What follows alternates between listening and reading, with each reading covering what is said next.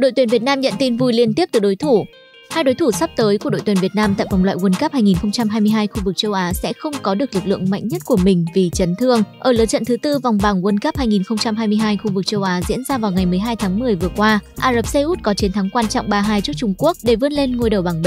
Tuy nhiên, huấn luyện viên Hare Renan cũng phải chịu tổn thất không nhỏ về nhân sự. Thủ thành Mohamed Al Owais đã gặp phải chấn thương nặng và rời sân ở phút thứ 69 sau khi va chạm với Enkeson. Kết quả kiểm tra ban đầu của các bác sĩ tuyển Ả Rập Xê Út cho thấy Mohamed Al Owais Wise bị chấn thương dây chẳng chéo sau có thể phải phẫu thuật. Với chấn thương loại này thì thủ môn số 1 tuyển Ả Rập Xê Út nhiều khả năng phải vắng mặt dài hạn. Anh rất khó có thể trở lại thi đấu ở hai trận vòng loại World Cup 2022 tiếp theo trong tháng 11. Đây rõ ràng là một tin buồn đối với đoàn quân của huấn luyện viên Javier Renan. Muhammad Al Owais là thủ môn nhiều kinh nghiệm của Ả Rập Xê Út. Anh là lựa chọn số 1 trong khung gỗ của đại diện Tây Á từ năm 2019 đến nay. Đáng lo ngại hơn, người thay thế anh là thủ môn Ai Ankani lại cho thấy sự bất ổn. Chính Ai Ankani đã mắc lỗi cá nhân trong tình huống dẫn đến bàn thua thứ hai của Ả Rập Xê Út, khiến đội nhà lâm vào thế khó ở những phút cuối trước Trung Quốc. Về phía đội tuyển Việt Nam, huấn luyện viên Park Hang-seo cũng không có lực lượng tốt nhất cho cuộc tái đấu này khi những cầu thủ trụ cột như Trọng Hoàng, Văn Hậu, Đình Trọng, Tuấn Anh đều gặp phải chấn thương và khả năng bình phục vẫn còn bỏ ngỏ. Theo lịch thi đấu, Ả Rập Xê Út sẽ gặp đội tuyển Việt Nam vào giữa tháng 11 trên sân Mỹ Đình.